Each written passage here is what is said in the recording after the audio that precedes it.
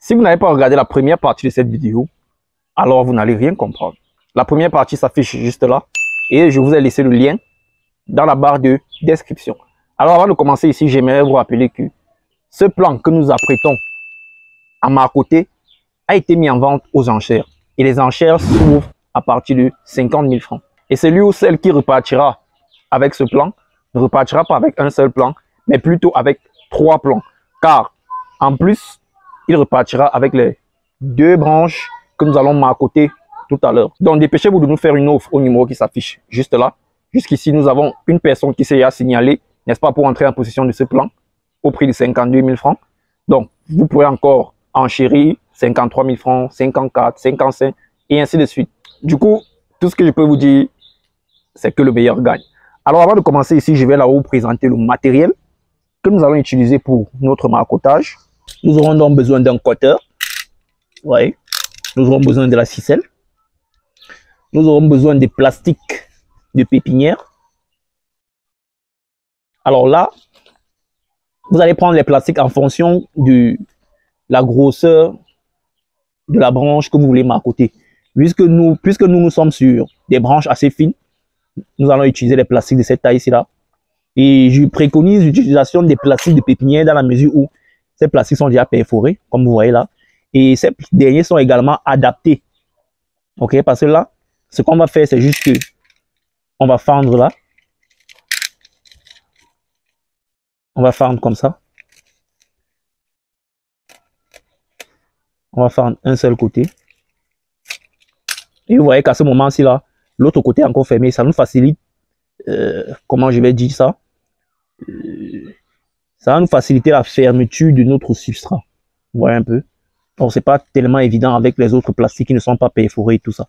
Donc, en fonction de la grosseur de votre branche, vous allez choisir le calibre qui est le mieux adapté. Si vous êtes sur des branches assez grosses, vous prenez ces plastiques-ci. On aura besoin également d'un couteau.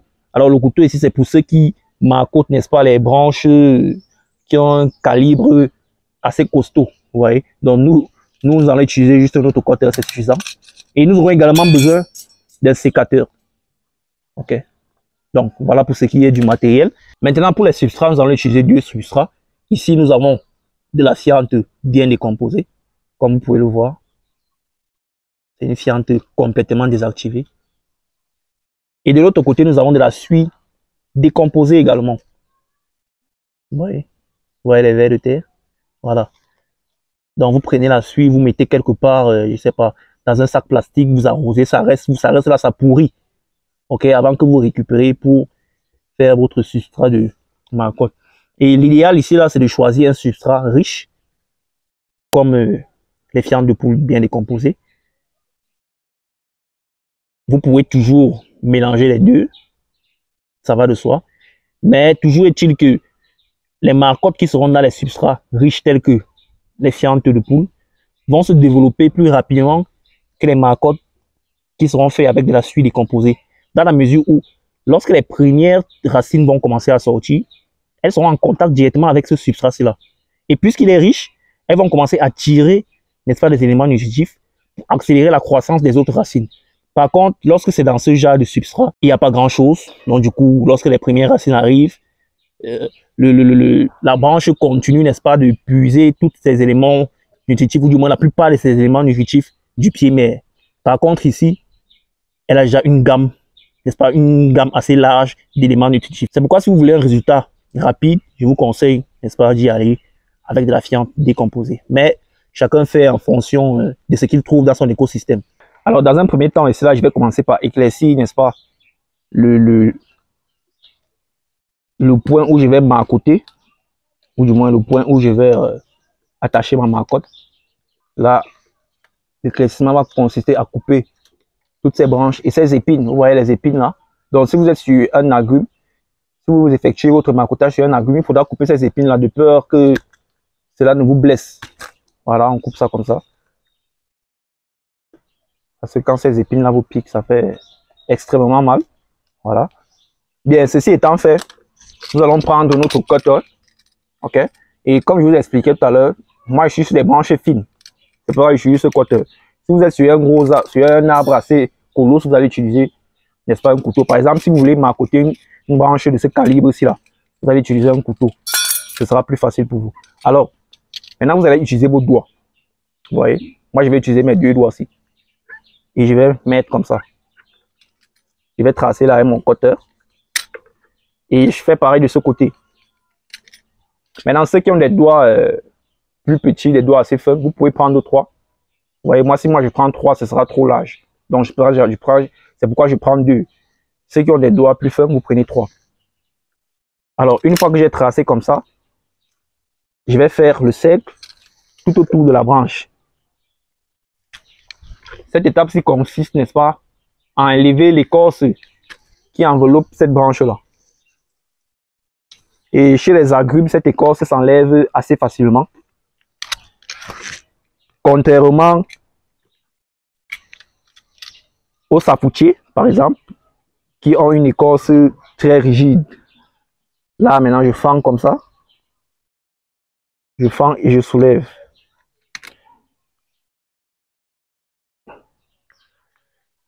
Voilà. Je crois que là, je vais utiliser le couteau pour soulever. De peur que la lame de mon côté ne se casse. Voilà.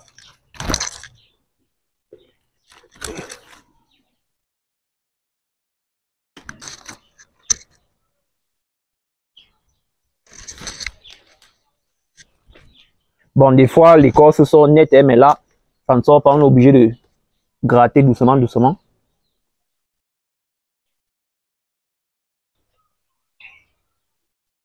Alors, une fois qu'on a retiré l'écorce comme ça jusqu'à ces blanchâtres, aïe, aïe, aïe, ça pique. Hein. On va gratter. OK? On va gratter comme ça.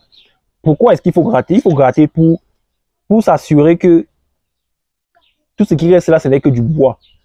Parce que la moindre couche d'écorce qui va rester là, ok, le moindre filament d'écorce qui va rester là, si vous le laissez, quand vous allez mettre euh, votre substrat pour attacher, ce qui va se passer, c'est que au lieu de sortir les racines, la branche va plutôt essayer de reconstituer son écorce et de la coller à, cette partie-ci là.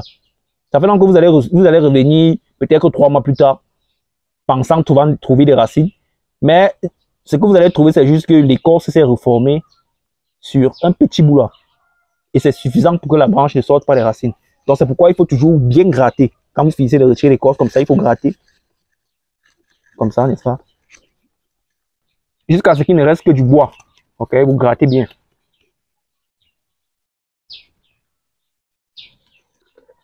Vous voyez que faire cette opération-ci euh, de, de façon aérienne, ou du moins sur un arbre qui est déjà assez grand, c'est compliqué, n'est-ce pas? Vous voyez, vous êtes sur l'arbre, déjà dans une position inconfortable. Et puis, vous devez gratter comme ça. C'est pas évident. Bien, voilà. Nous avons complètement retiré l'écorce. Et là, on peut voir qu'il ne reste que le bois blanc. Alors, avant de continuer cette vidéo, j'aimerais rappeler à tous ceux qui vivent du côté de Yaoundé que je mets à leur disposition via mon entreprise du poulet frais bio et surtout halal.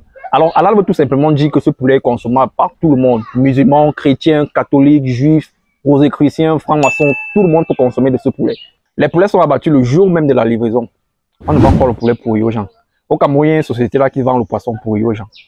Nous, on ne vend pas le poulet pourri aux gens. Donc, le jour que vous passez votre commande, que nous abattons votre poulet, le nettoyons et vous le livrons gratuitement. Contactez donc rapidement le numéro qui s'affiche juste là pour entrer en possession de votre poulet frais. Et surtout, prière de commander la veille. ok? Parce que comme je vous l'ai dit précédemment, les poulets sont abattus le jour de la livraison.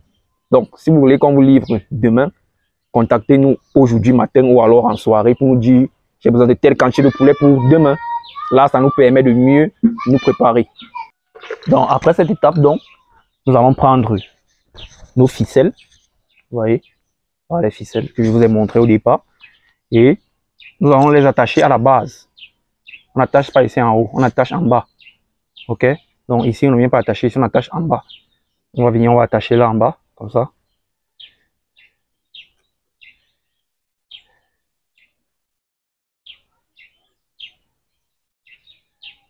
Voilà. Donc là, nos ficelles sont bien attachées. Ok, bien solide.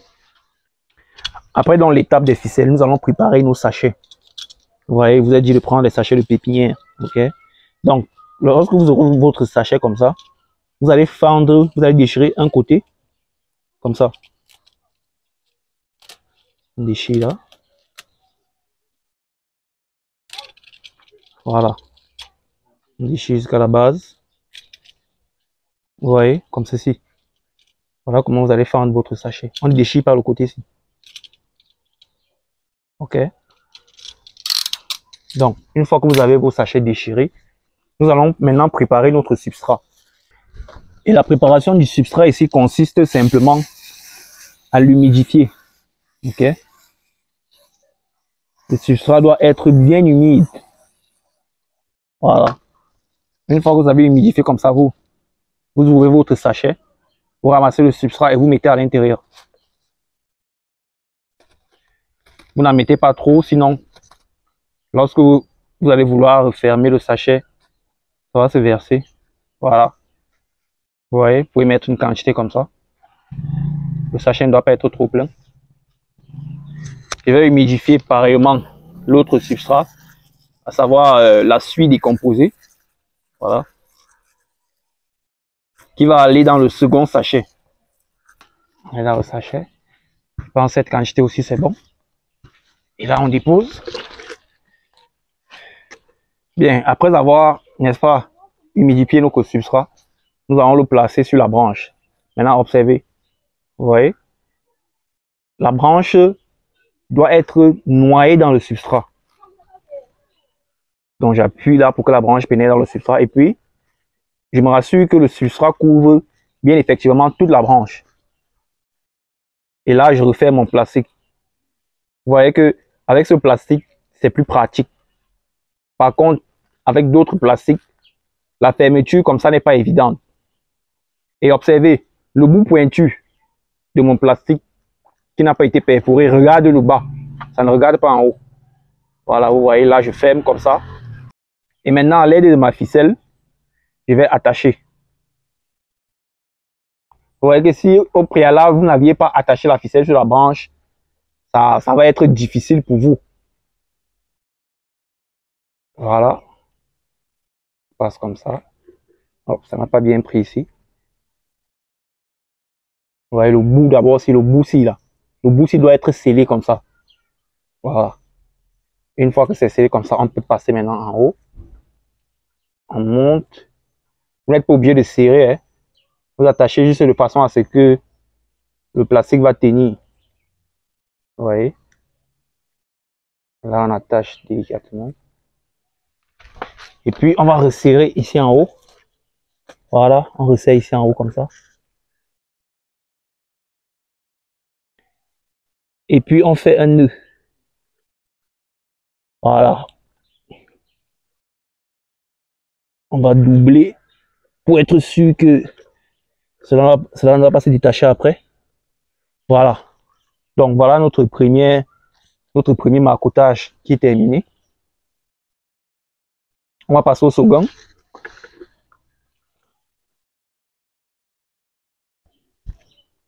Vous voyez, ce que je vous disais, le bout. Ce bout, c'est là qui n'a pas été percé. Regardez le bas. OK. On va mettre là. Je vous conseille vivement de rester jusqu'à la fin de la vidéo. Car à la fin, on aura encore des conseils gratuits pour pouvoir être sûr de réussir, votre marcotage. Maintenant, pour tous ceux qui, après avoir regardé cette vidéo, seront toujours incapables de réaliser le marcotage, sachez que si vous avez une plantation, ou alors si vous avez un arbre chez vous que vous souhaitez multiplier, sachez que vous pouvez nous contacter au numéro qui s'affiche juste là. Et nous viendrons le faire à domicile chez vous, ou alors dans votre plantation. Hmm? Ceux qui ont les plantations de safoutier là, et qui veulent multiplier, vous pouvez nous contacter au numéro qui s'affiche juste là. Nous viendrons dans votre plantation avec notre équipe et nous allons marcoter vos arbres pour vous. Voilà, on attache comme ça. Vous voyez que c'est une opération. Si on était en hauteur sur un arbre, c'est une opération assez complexe, une opération assez pénible, dans la mesure où lorsque tu es sur l'arbre, c'est pas confortable déjà. Il fait encore pareille chose, c'est vraiment pas évident. Bien, voilà, notre marcotage est terminé. Magnifique. Alors, pour tous ceux qui sont restés jusqu'à cette phase de la vidéo, sachez que l'on ne marcote pas des plans qui n'ont jamais produit. Ou du moins des plans qui ne sont pas encore entrés en production. Ça ne sert à rien. OK? On marcote des plans qui ont déjà montré qu'ils peuvent produire des fruits. Parce que le phénomène que vous observez là, vous voyez un tout petit plan comme ça qui produit après six mois. C'est lié aux hormones qui sont dans les branches qui ont été marcotées. N'est-ce pas? Les branches ont été marcotées sur un plan adulte qui produit déjà. Ça veut dire que dans ces branches circulent déjà des hormones d'un plan adulte, des hormones de production. C'est pareil que chez les hommes. ok? Chez les hommes, il y a l'âge de la puberté où les hormones commencent à se développer. Si vous partez chez un plan qui n'a pas encore produit, vous, allez marcoter la branche, vous allez mettre au sol. Ça ne va jamais produire. Ça va produire peut-être après 5 ans, après 10 ans. Par contre, quand vous marcotez un plan qui a déjà montré qu'il produit des fruits, ça veut dire que dans, sa, dans ces, ces, ces cellules déjà les hormones, n'est-ce pas, du, du, de, la, de la production. OK?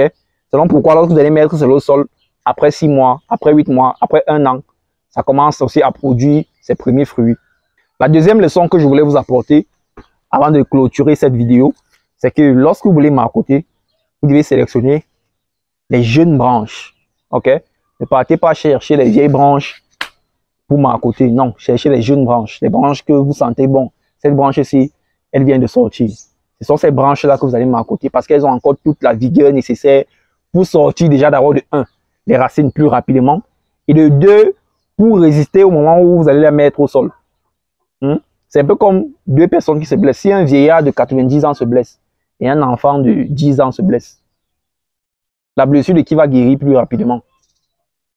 C'est celle de l'enfant de 10 ans. Donc c'est pareil. Si vous prenez une vieille branche pour la marcoter, cette branche-là, les cellules sont fatiguées en fait. C'est un plan qui ne va pas mettre long. Et généralement, même ces branches-là, vous allez constater que si la jeune branche a sorti les racines, après deux mois et demi ou alors après trois mois. Cette vieille branche va sortir les racines après six mois, après sept mois. OK? Donc, sélectionnez les branches qui sont jeunes pour effectuer votre marcotage. Donc, nous nous donnons rendez-vous dans deux mois pour la première vérification. La première vérification se fait après deux mois. OK?